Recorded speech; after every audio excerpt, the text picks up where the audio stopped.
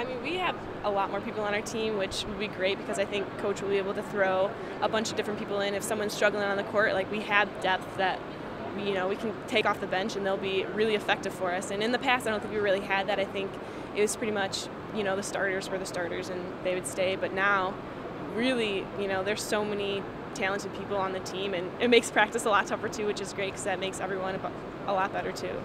So just you know expectations. Is it Final Four? Is it what is it? Um, you know what? I think for us, a lot of us, um, we want to obviously improve from last year, from the Sweet 16. But I know for me personally, I want to try to make it to the Final Four and even past that. And for me, it's my senior year, so might as well and kind of go out with a bang. Um, but I think this team is really talented, and I think we really can have a shot at being a very competitive team in the nation.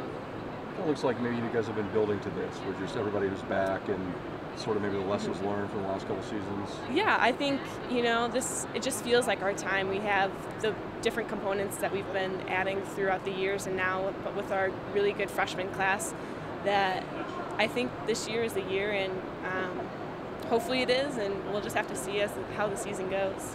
I always ask about Penn State and everything, but I mean, yeah. it's just the year, you, know, you guys maybe sort of knock them um, down. and They're always going to be a great team, and I think that match, especially since it's first Big Ten, you know, weekend, and we play them first.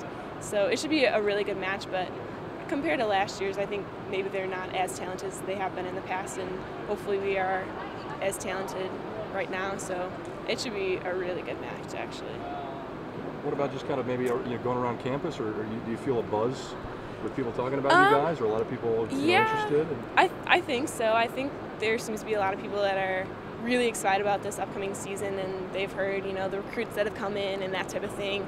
So we'll see as the fans come in, I guess, if they have been talking about it. But I think the biggest thing for us is just trying to keep that out of our brain as much as possible and just focus on us and focus on what we can do in practice and not really get worried about the hype and the expectations just right off the bat, the Illini Classic. You know, that's going to be a little bit mm-hmm. of a mm-hmm. challenge for you. Yeah, oh yeah, we have some great teams coming in, and it'll be nice being on our home court for our first weekend. And that's usually, you know, the time where you got to work out some some rust and that type of thing, just playing other people. But we've been practicing really hard during preseason, and we'll continue to practice hard, so it should be a really, really good time.